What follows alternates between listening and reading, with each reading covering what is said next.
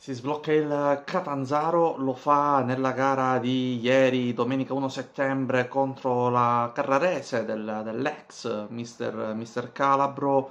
Uh, un gran Catanzaro, un Catanzaro che aveva soprattutto bisogno di vincere, non importava tanto come, uh, specialmente dopo il 2-0 uh, eh, subito a Cesena nel turno infrasettimanale che insomma non aveva, che aveva lasciato tanti strascichi anche a livello anche di prestazione e, ed aveva fatto sorgere tanti dubbi, tante domande. Uh, invece la, c'è stata una risposta, c'è stata una, una, vera reazione da parte del Catanzaro, una, una foga agonistica, così come ha dichiarato Mr. Calabro uh, a fine, fine, partita, per elogiare la sua ex squadra che ha uh, insomma meritato di vincere ampiamente questa sfida sotto il punto di vista delle, anche delle occasioni, forse tre gol sono anche un po', un po pochini, addirittura uh, insomma un Catanzaro che passa tra virgolette da, da un eccesso all'altro, dal bruttissimo 2-0 subito a Cesena, un 3-1 contro, contro la Carrarese che addirittura sa di risultato stretto. Uh, tantissime le note, le note positive, come, come giusto che, che, sia, il ritorno al gol della, della coppia, dei, dei gemelli, del gol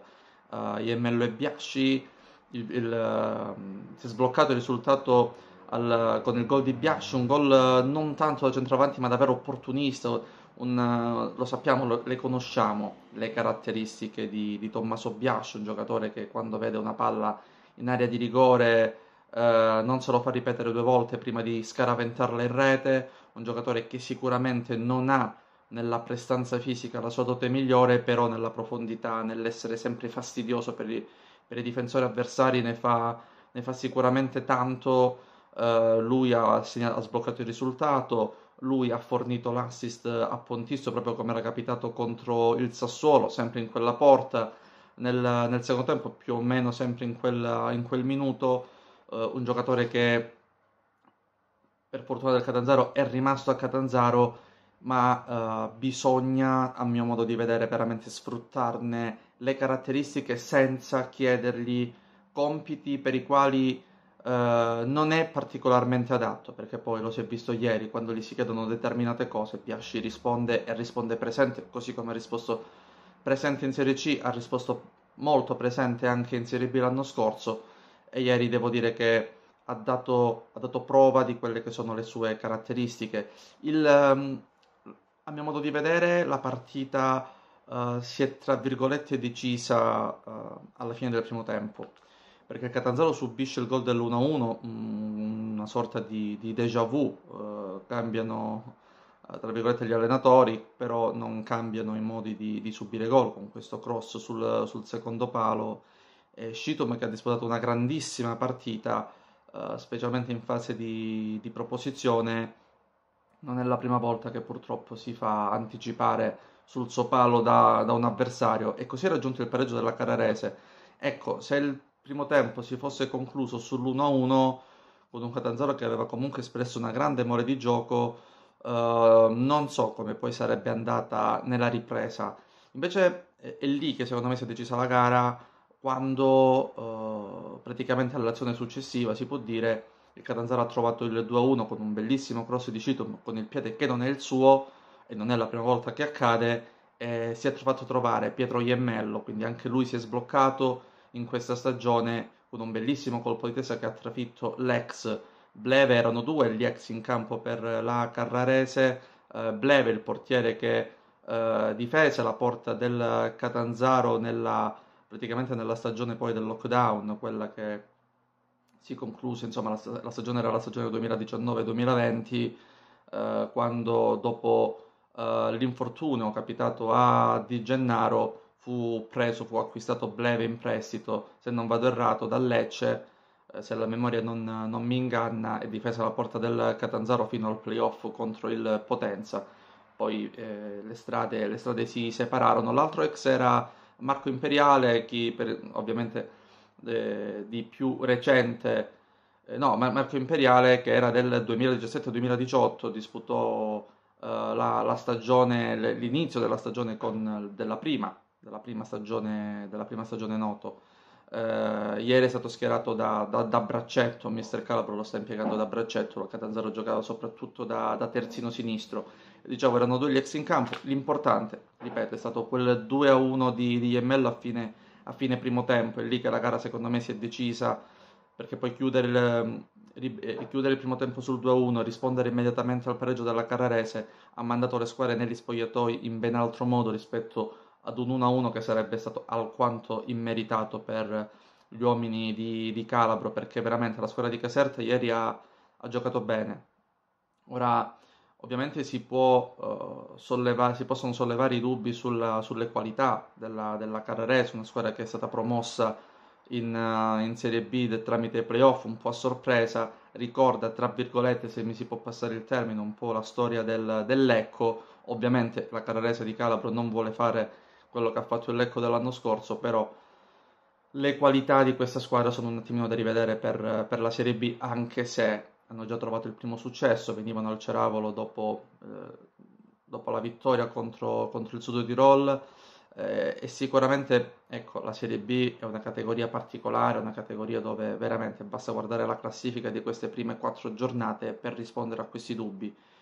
ci sono praticamente la prima in classifica, le prime in classifica hanno, hanno 8 punti, eh, rimane ultimo il Cosenza con un punto ma con 4 di penalizzazione.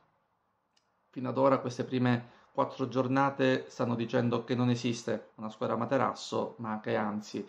eh, tutte le partite possono finire in tutti i modi possibili. Puoi vincere una partita in maniera roboante e ne puoi per- le puoi perdere la successiva in maniera deprimente eh, quindi era veramente importantissimo vincere per il Catanzaro, un Catanzaro che poi ha trovato, come dicevo prima, il 3-1 con Pontisto, secondo gol in stagione, secondo gol eh, sotto la, la porta, alla, nella porta della curva riservata agli ospiti, con un inserimento, ecco,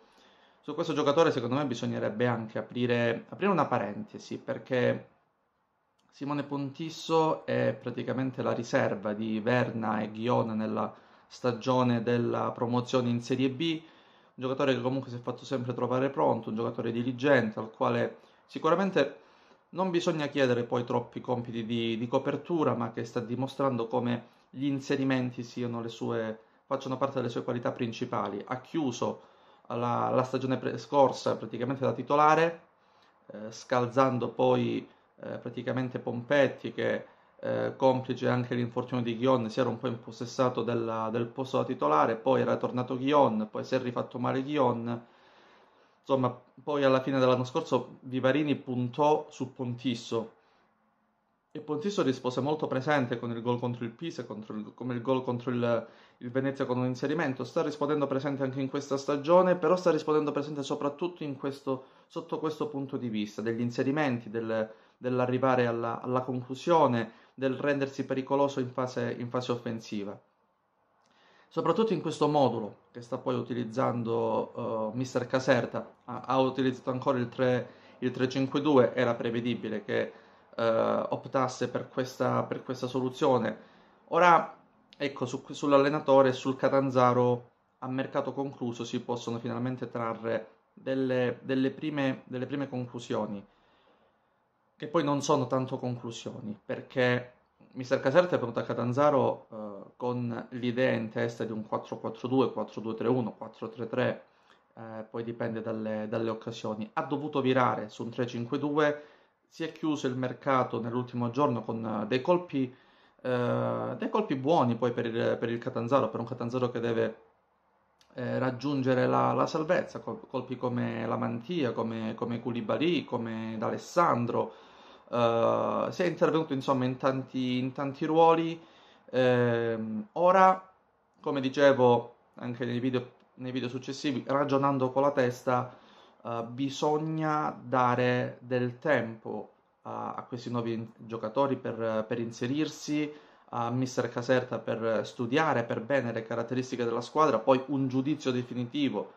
sul, un primo giudizio definitivo sul Catanzaro, se bisogna darlo, bisogna darlo, come ho detto, secondo me non prima di, uh, non prima di, di metà ottobre. Eh, c'è bisogno di amalgamarsi, c'è bisogno di inserirsi, c'è bisogno di tempo, c'è bisogno di capire poi se Mister Caserta deciderà di optare per, ancora per un 3-5-2, per se deciderà di ritornare al 4-2-3-1, 4-4-2, se invece alternerà i moduli anche in base, in base agli avversari. Ed ecco perché,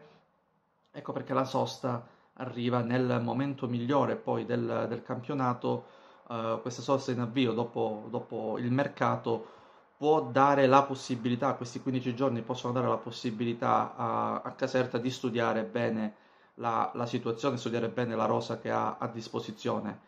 Eh,